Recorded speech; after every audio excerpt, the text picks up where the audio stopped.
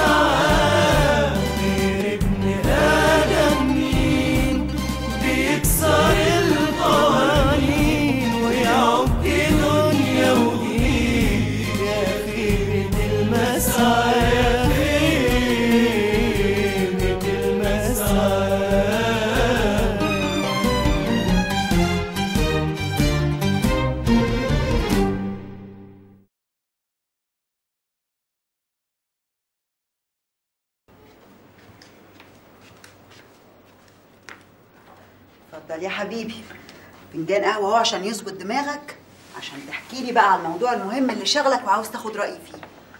شكل حبيبتي. بعد المناقصة اللي ضاعت علينا امبارح في الشركة حسيت إن أحوال السوق بقت متلخبطة قوي عشان كده بفكر في حاجة عايز أخد رأيك فيها. اتفضل قول. أنت عارفة طبعا يا حبيبتي إن معظم شغل الشركة عندي بيعتمد على التربيطات والعلاقات. بس متهيألي إن أنت محقق ده بشكل كويس. وعندك علاقات واتصالات كتير. أيوه يا حبيبتي بس ممكن مع أي عملية أو مشروع ألاقي عفاريت طالعة لي من تحت الأرض توقف المراكب السايرة تقصد اللي ممكن يعطلوا لك المشاريع دي؟ طب هل أنت عندك حل تاني غير السيستم اللي بقى قاعدة ومحدش قادر يمنعه؟ طبعا عندي حل بس يحتاج مننا مجهود. مننا إحنا؟ إيه هو؟ نرجع اسم المراغي لمجلس الشعب. ويبقى لنا صوت قوي ومسموع. ساعتها كل الأبواب المقفولة هتتفتح لنا. انت ناوي ترشح نفسك لمجلس الشعب؟ لا لا لا لا لا لا. أنا ظروفي دلوقتي ما تسمحليش إن أنا أحقق أي نجاح. مش أنا اللي هرشح نفسي. أمال هترجع اسم المراغي إزاي؟ الدكتورة هدى صفوة المراغي هي اللي ممكن ترشح نفسها. هي صحيح الدكتورة هدى اسم وسمعتها كويسة. وفعلا ممكن تنجح. بس تفتكر هتوافق؟ أنا عارف. هي في الأول ممكن تبقى خايفة ومترددة. بس دي مهمتنا إحنا بقى. لازم نعمل المستحيل عشان نقنعها هي طبعا الدكتورة هدى ست ممتازة. بس يا ترى هي عندها استعداد لدخول تجربة زي دي؟ المهم دلوقتي إن إحنا نقنعها بالخطوة الأولى. إنها توافق إنها ترشح نفسها. تعرف مين اللي ممكن يقنعها؟ مين؟ مراد بيه. على ما أعرف إن هو نفوذه واسع جدا في العيلة وكلمته مسموعة وعمرها هي ما كسرت له كلمة. أنا كنت خايف إن أنا أضطر ألجأ له في موضوع زي ده. هو أنت هتطلب منه طلب شخصي؟ أنت هتدردش معاه في الموضوع؟ وأعتقد إن هو هيوافق. تفتكري؟ ابدأ أنت بس اتكلم معاه في الموضوع وحمسه للفكرة وبعد كده كل حاجة مع هدى هتبقى سهلة. يا لميا لو مراد البهي يوافق على الموضوع هيبقى سهل قوي قوي اقناع هدى.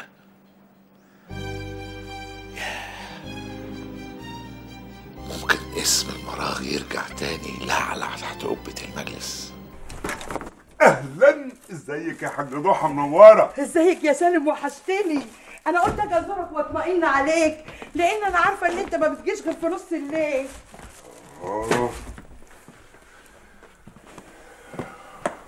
ضحى في حاجة؟ لا والله يا أخويا مفيش حاجة.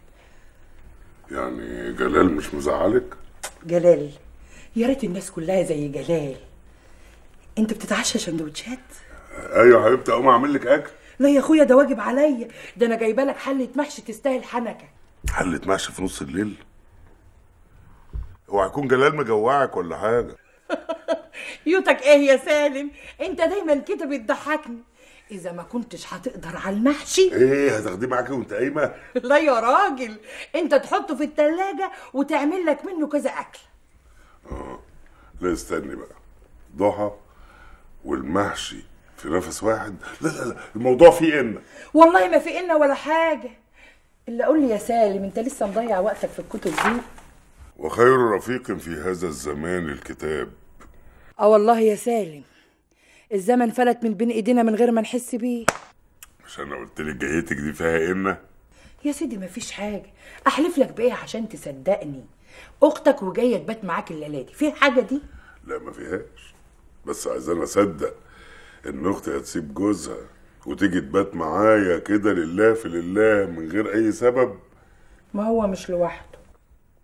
اتجوز عليك الناقص؟ فلا الله ولا فالك ده راح يطل علاقته في البلد وهيبات معاها النهارده. قلت أنا بقى أروح أبات عند أخويا حبيبي. يا أختي قولي كده من الأول سيبت ركبي. بس أنت جاية كمان تبقى عندي فجايبة أكلك معاكي؟ لو المصحف الشريف. هو إحنا بينا فرق يا سالم؟ ده أنت خيرك مغرقنا طول عمرك. هي في واحدة فينا تقدر تنسى اللي أنت عملته معانا؟ ده أنت بتطلع اللقمة من حنكك وتدهن. طيب قوم يا اما تغيري هدومك.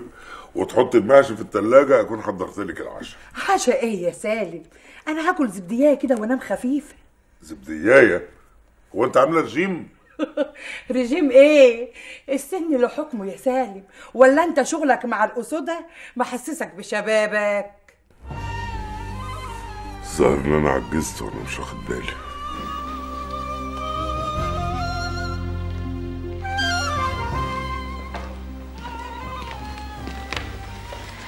ها يا مراد لسه في عندك إيه من المفاجآت؟ رديت على كل المفاجآت مرة واتنين وعشرة لحد ما اتخنقت بصراحة. أرجوك يا مراد أنت بتهد كل حاجة. أنا مش هتكلم عن ابني اللي هو بحكم موقعه وعمله أقدر مني على حماية قيمه وحماية قيم مجتمعه. لكن بنتي أنا المسؤول الوحيد في الدنيا دي على حماية كبريائها وحفظ كرامتها. اللي عملته ده محدش فينا وافق عليه. تصرفات ملهاش معنى. أنا مش فاهمة إيه اللي في دماغك؟ وعايز توصل لإيه بالظبط؟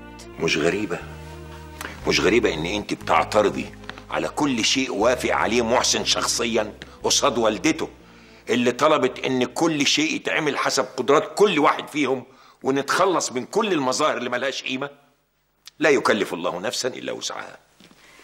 أنت فاكر نفسك إيه؟ ولي من أولياء الله؟ لا حول ولا قوة إلا بالله. أنا مش ممكن أقول حاجة زي كده بس أنا فعلا ولي لبنتي. ما أنا عشان كده بفكرك بموضوع البنت وجوازها. أنا رحت المحسن ده بناء على طلبك أنت وميرفت.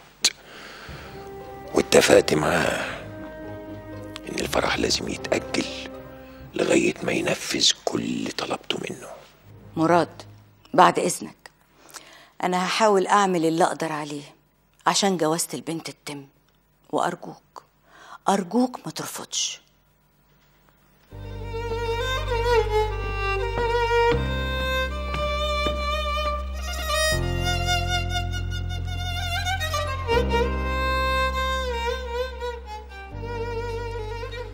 الدنيا غلبت بابا فيها يا عمي والله يا ابني سألته نفس السؤال وما لقيتش إجابة. مع إن أنت الوحيد اللي ممكن يقولك. الدنيا يا ابني بتغير الناس. طول ما في ليل ونهار وصبح ومساء. يا عمي اللي أنا عايز أعرفه ليه بابا اتغير بالشكل ده؟ العلم عند الله يا ابني. يا هدى إحنا كبرنا على الكلام ده ما يصحش. خلي التصرفات دي للعيال الصغيرين. معلش يا مراد مش هقدر أنام جنبك وأنا شايلة منك. وإنتي تشيلي ليه؟ إيه اللي مزعلك؟ جوازة بنتنا اللي اتأجلت. تحبي أفكرك برأيك في الجوازة دي؟ وباللي اسمه محسن عريسها ده الولد الأفاق الانتهازي. مش ده كان كلامك؟ الكلام ده كان قبل كتب الكتاب. إحنا بنتنا معانا دلوقتي. ما راحتش عاشت مع محسن ده تحت سقف واحد. وده أكرم لها. الكلام ده فات أوانه دلوقتي. ما فيش حاجة بيفوت أوانها غير أما يموت الإنسان. أي شيء الإنسان يقدر يواجهه ويغيره طول ما هو عايش بإذن الله. آه زي ما أنت بتعمل دلوقتي. بس للأسف بتعمله على حساب أقرب الناس ليك. مش صحيح. أنا ما بعملش حاجة على حساب حد. ليه؟ ما انت رايح تتبرع بشقة بنتك اللي هتتجوز فيها. اللي بعمله ده لصالح أولادنا ولصالحك أنت كمان. أنا مش قادرة أفهم الكلام اللي انت بتقوله ده. يا ريتك تفهمني. هتفهمي. إن شاء الله هتفهمي. بس يا ريت ما يكونش بعد فوات الأوان. يعني هو ما قالكش ليه رجع لك دلوقتي بالذات؟ وليه اتغير كده؟ أبدا والله يا حبيبي. أنا كل اللي همني إني شفت أخويا رجع تاني لداره. داره اللي اتربى فيها وعشنا فيها أجمل سنين عمرنا. يا عمي أنا والعيلة كلها محتارين من اللي حصل لبابا. عايزين نطمن عليه. بيعمل كل حاجة دلوقتي مختلفة عن اللي اتعودنا وعشنا عليه. وأكيد حضرتك شايف إن رجوعه ليك بعد السنين دي كلها ليه سبب الأخ لازم يرجع لأخوه. مهما طال الزمن يا ابني. يا عمي أنا جيت لحضرتك بدور على إجابة صريحة. الكلام اللي حضرتك بتقوله ده بيزود علامات الاستفهام. الدنيا يا خالد يا ابني سؤال وملوش إجابة. بنفضل طول العمر ندور عن إجابة ونموت وما نلاقيش إجابة. سيبها على الله. وادعي لأبوك ربنا يريح قلبه ويروق باله. اطمن يا ابني. أبوك بخير. أنا عرفت من ساعة ما رجع هنا إنه هيبقى بخير إن شاء الله. البنت صعبانة عليا قوي. حرام عليك يا مراد. تقتل فرحة بنتك الوحيدة اللي مستنياها طول عمرها. إحنا هنعيده تاني يا هدى. وكنت فين حضرتك؟ من ساعة ما عرفنا محسن ومن ساعة ما وافقنا على الخطوبة وكتب الكتاب وطلبنا منه كل الطلبات. تقدر تقولي كنت فين؟ جاي دلوقتي بتغير رأيك وبترجع لرأيي القديم اللي طول عمري بقوله لك. تقدر تقولي هنقول إيه للناس دلوقتي؟ أنا مش محتاج أبرر أي حاجة لأي حد. وما باخدش قرار يمس حياة بنتي ولا مستقبلها إلا إذا كنت أنا مقتنع بيه كل الاقتناع. على العموم أنا هعرف كل ده ورائي يا مراد. تصبح على خير.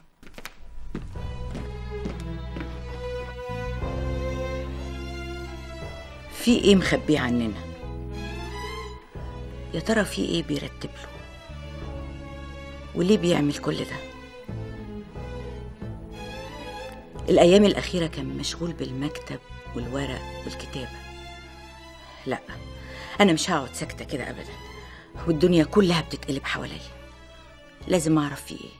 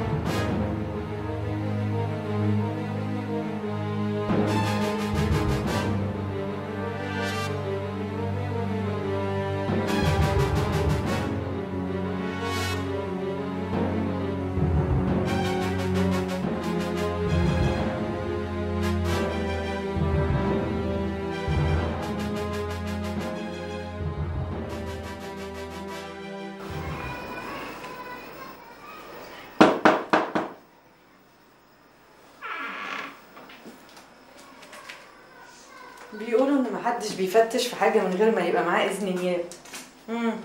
اديت لنفسك الاذن نفسي أعرف وأطمن على حاجات كتير.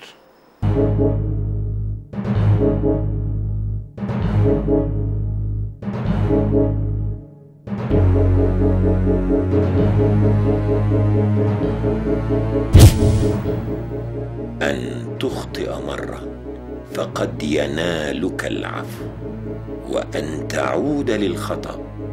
فقد ذهبت إلى سبق الإصرار. والله كلام جميل. لكن من إمتى مراد بيقرأ في الفلسفة؟ حاجة غريبة قوي العقل هو الذي يصنع الخير. إن فهم كل شيء قد يؤدي إلى الصفح عن كل شيء. هو عايز يقول إيه بالكلام ده؟ ومن إمتى مراد بيكتب خواطر ويتأمل؟ من ساعة ما جيت هنا وأنا بدور على الحقيقة. ما كنتش عاوز أفتش في حاجة أبويا بس غصب عني. ولا إحنا قدرنا. دي أمانة وعمر سايبه وراه. على فكرة أنا عارفة شكل أمك وحافظاه أمي؟ شفتيها إزاي؟ إمتى؟ شفت صورتها. بصراحة وأنا بنفض الأوضة مرة وقعت من الكتب. غصب عني والله يا ابن عمي ما كنت أقصد. اهي لما شفتها قلت دي أكيد مرات عمي ونسيت أقول لعمي المرة اللي فاتت لما جه. شوف كاتباله إيه؟ باين عليهم كانوا بيحبوا بعض قوي من أيام الجامعة. إلى حبيبي مراد كل ما لي في الدنيا المخلصة للأبد نوال.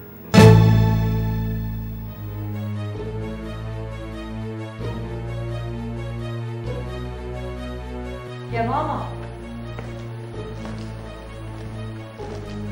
متولي عز الدين البهي بداية الهروب الكبير والتحليق خارج السرب. لا تفقد أخاك الأكبر فإن فعلت فقد أضعت أباك مرتين. اللي يقول الكلام ده يبقى عارف قيمة ومكانة أخوه كويس أوي. ما يقدرش يبعد عنه أبدا. غريبة. أمال ليه كان مقاطع أخوه العمر ده كله؟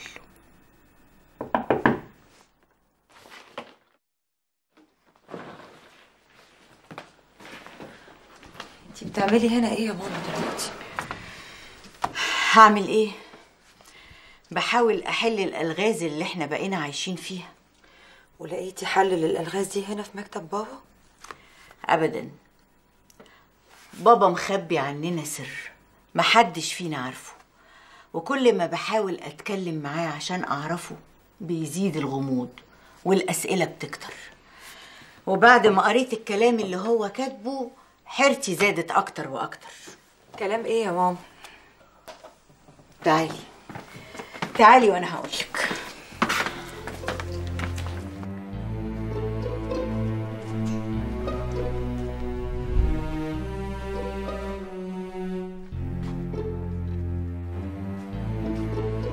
الكلام ده معناه إيه يا ماما؟ أنا مش فاهمة حاجة. ولا أنا. الكلام ده بابا هو اللي كاتبه في المفكرة بتاعته. حاولت أفهمه معرفتش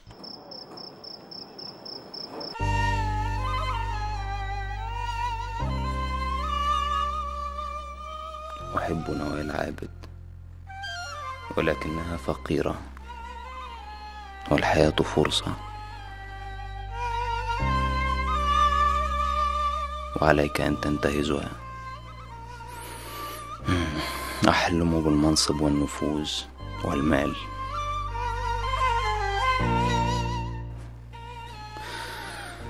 لا تستعمل قلبك في أحكامك. كي تصل لأهدافك. نوال أعطتني الحب ولكني أحتاج للمال والنفوذ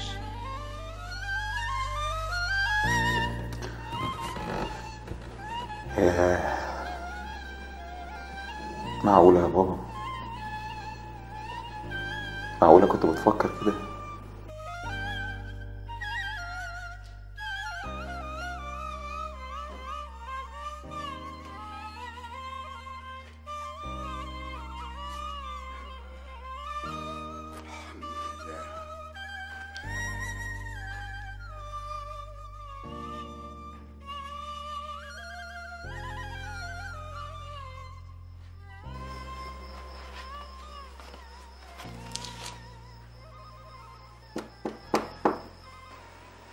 اتفضل.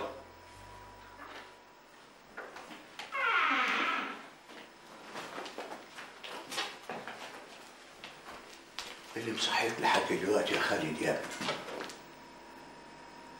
ابني إيه دي؟ بتقرأ في إيه؟ ده أنا دلوقتي بس عرفت ليه بابا ما كانش عاوزني أجي هنا. أبوك أخوي. ابن أمي وأبويا. والواحد دايما يحب يشوف أخوه أحسن حاجة في الدنيا. يلا. يلا يا خالد يا ابني. الوقت اتأخر. انسى. انسى كل اللي قريته. واقفل شباك أوضة أبوك. ونام. يا عم انت أكيد عارف حاجة ومخبيها عني تصبح على خير يا ابني.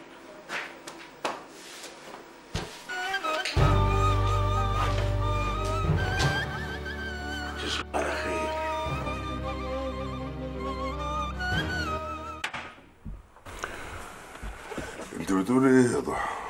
شقة إيه وعربية إيه وأنا إيه خلاص مت. بعد الشر عليك يا أخويا. أنا جاي أشرح لك ظروفي وأنا عارفة إن أنت حنين وهتقدر تراعي ظروفي أنا.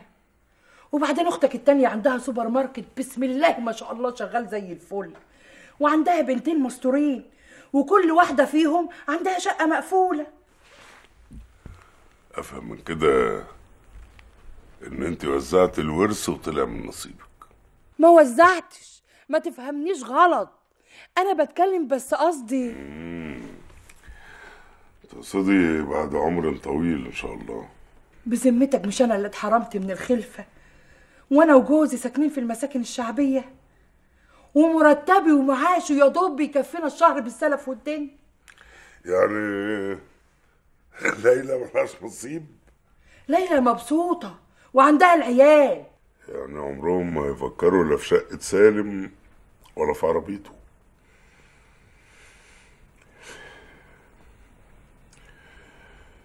عندك حق يا أختي. شفت بقى؟ أنا عندي حق ولا لأ؟ عندك حق أضحى.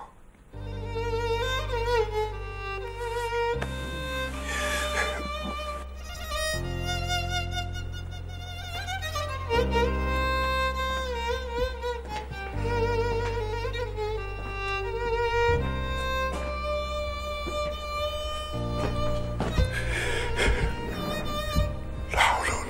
الا بالله العلي العظيم. لا حول ولا قوة إلا بالله العلي العظيم.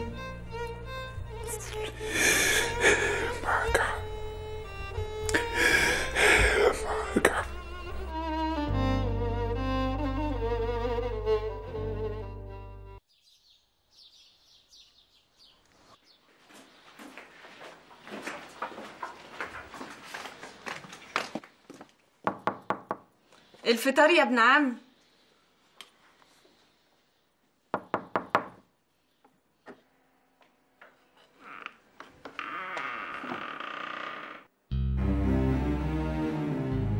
يكون راح فين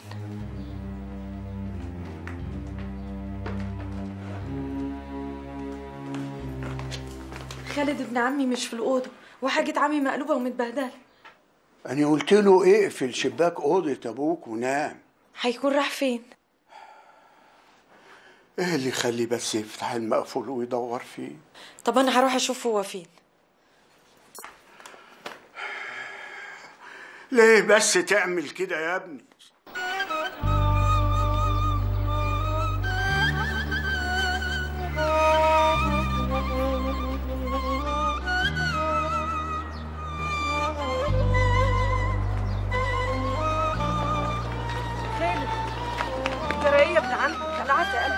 اللي مقعدك كده.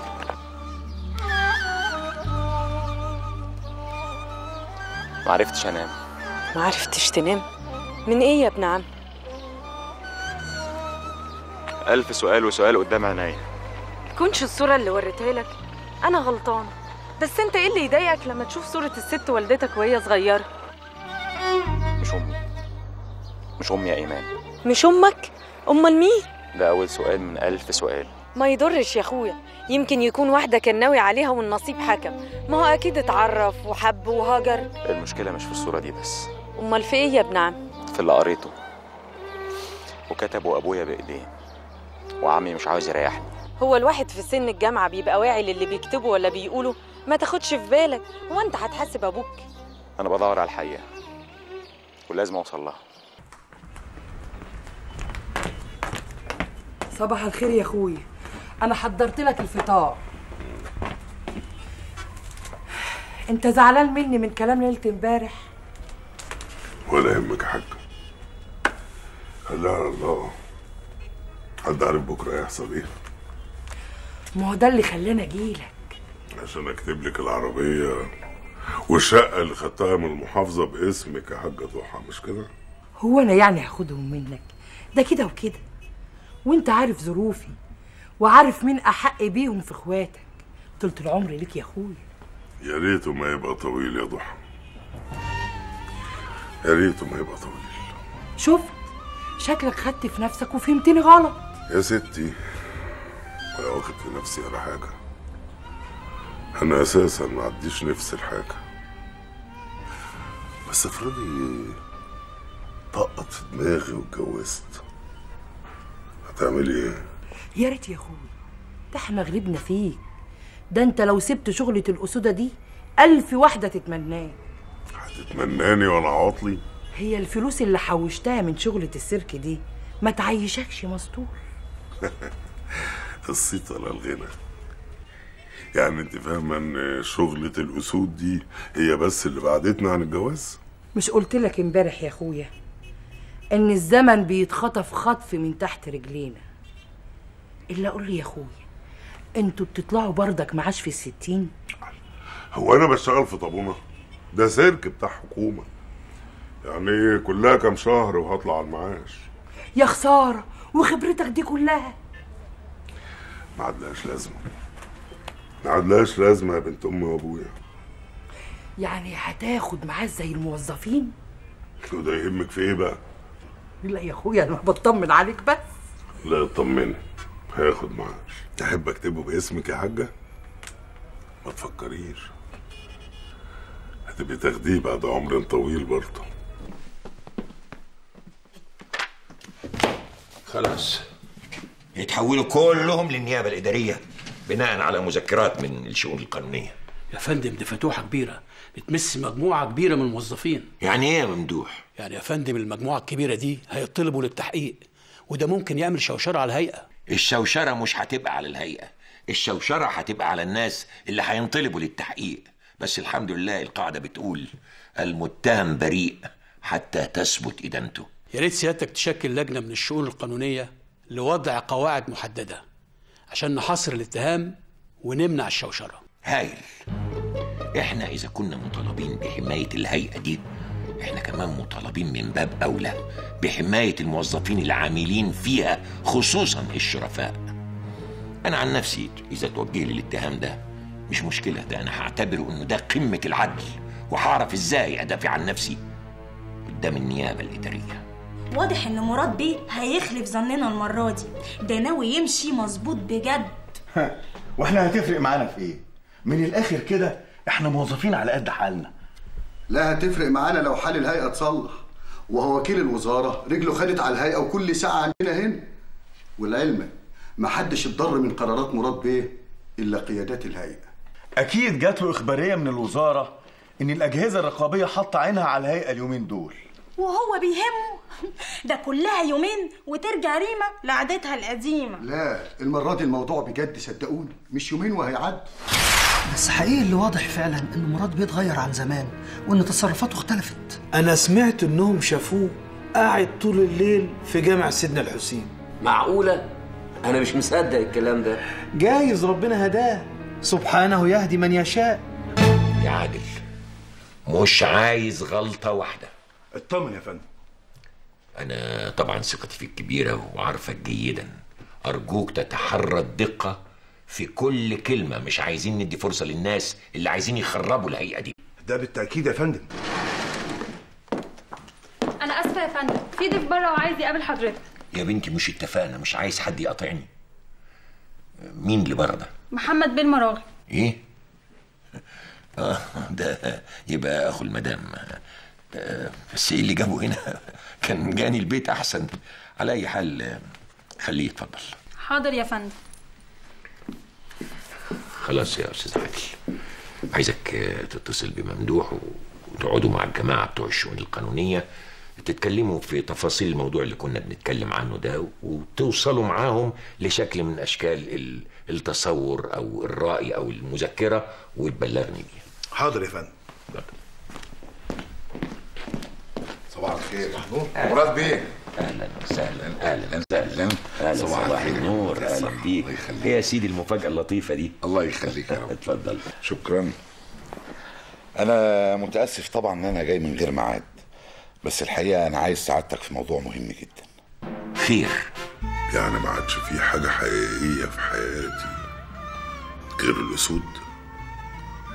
متوحشين آه بس علمناهم. ورغم كده ما بقوش زي الإخوات اللي بينسوا كل حاجة قدام فرغة العين. الحمد لله. الحمد لله إن الحيوان اللي ما بينطقش اللي أصله متوحش ومفترس طلع حاجة تانية خالص. على الأقل بيحافظ على اللي بينه وبين صاحبه. اخصى عليك يا دنيا. اخصى عليك. وصلنا لكده. كل حاجة ضاعت. كل اللي عملته ما بقالوش قيمة ولا معنى. هما دول الإخوات اللي باقيين لي. هما دول اللي ضيعت عمري عشانهم.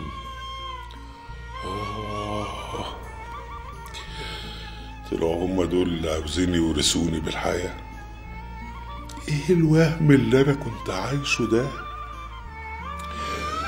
يا رب. ارحمنا برحمتك يا رب. يعني مفيش فايدة فيك يعني؟ هو في إيه يا مرجان؟ ما تسيبني في حالي يا جدع. مش هسيبك ابدا إلا لما أخدك على الاداره علشان يشوفوا عمايلك. يا مرجان اهدى ما ينفعش كده. عمل لك إيه بس؟ الدكش فهمني. هو كده على طول مش سايبني في حالي. أقول لهم أنت كنت بتعمل إيه؟ هو يعني لما آكل عيش يبقى حرام. قبل كده اتلبيت جزا لما خدت الشبل من ورانا وطلعته للناس يتصوروا معاه يعني مفيش فايدة فيك يا دوكش؟ يا جدعان اخلصوا بقى. ما ينفعش اللي إحنا بنعمله ده.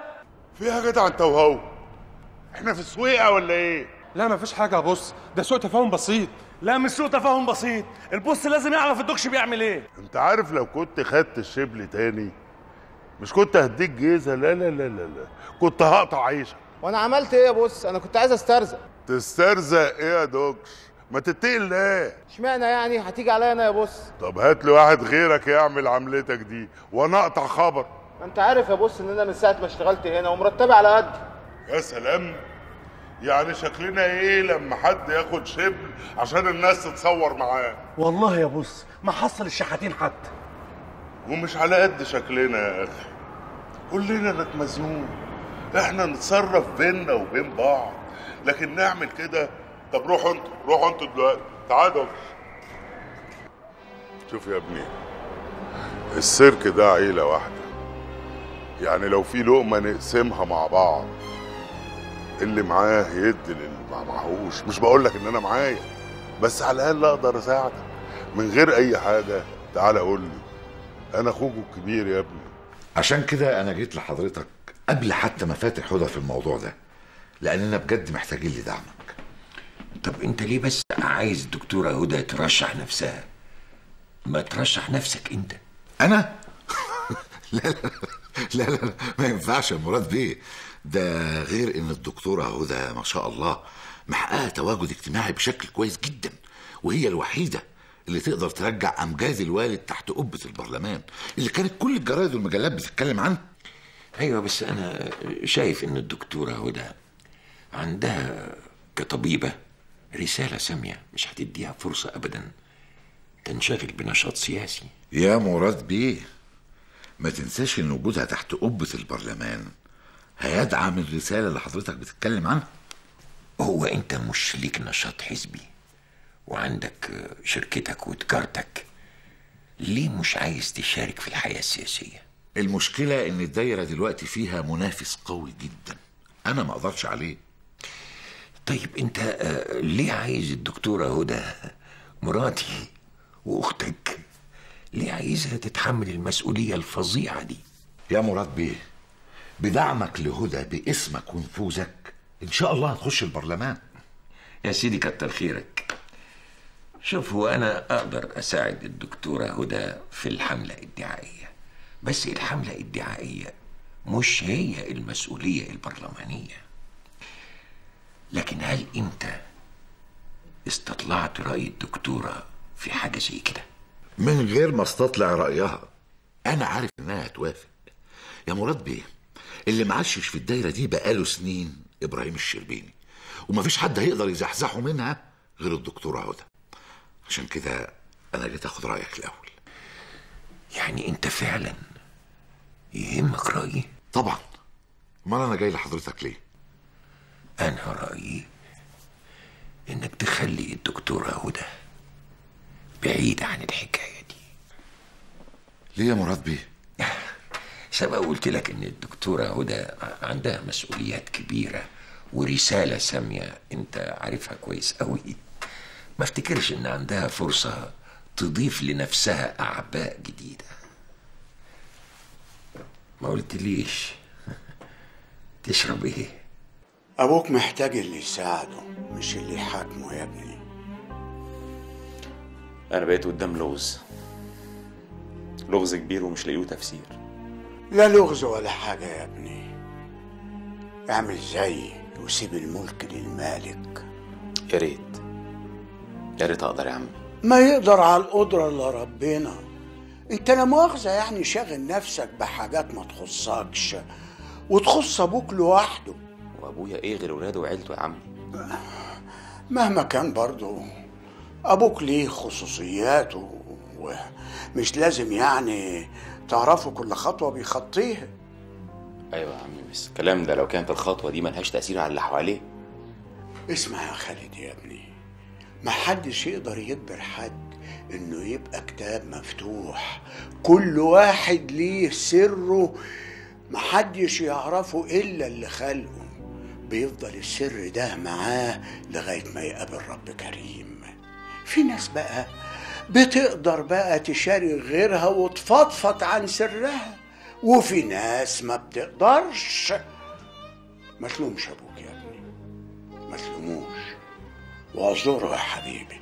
بقينا اهو زي البيت الوقف. مستنيين كلمة عطف من الهانم والبيع عشان نحل المشكلة. محسن بطل الأسلوب ده. أحسن أخرج من المكتب وما ادخلوش تاني. طب قولي لي أتصرف إزاي؟ الأيام بتعدي وكل يوم زي التاني. وأنا مش عارف أتحرك ولا أتكلم مع مين. هنفضل كده لحد إمتى يا ميرفت؟ هعمل إيه يعني؟ البيت عندنا فيه مشاكل. وأنا هقعد استنى حل مشاكل البيت ولا مشاكل الجوازه بص يا ميرفت أنا اللي يهمني دلوقتي في جواز ولا لأ؟ وإزاي وإمتى وفين؟ ما أنا جاية لك دلوقتي عشان نتكلم. الكلام دلوقتي ما ينفعش. افرضي اتفقنا على أي حاجة مراد بيه هيوافق عليها؟ أنت مالك دلوقتي ومال بابا؟ ما إحنا ممكن نتفق على حاجات كتير ويجي مراد بيه يلغيها لنا بكل بساطة. أنا ما فيش في إيدي حاجة أعملها. خليك بقى مستني العمر كله.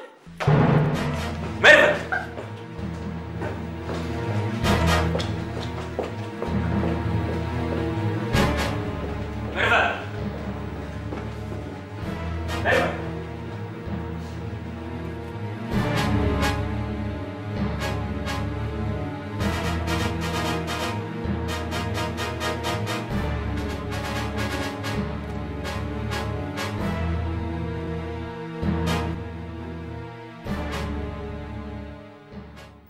بابا زي ما بيقول عمي محتاج اللي يساعده مش يحاكمه يبقى أكيد في حاجات كتير أنا معرفهاش.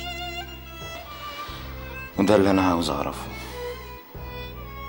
كأني بكتشف إنسان تاني غير اللي عشت معاه كل السنين دي. هنا بشم ريحته حاسس بيه. وهنا حاسس بأول خطوة في طريق بابا بس مش عارف. مش عارف الخطوة دي هتودينا لفين.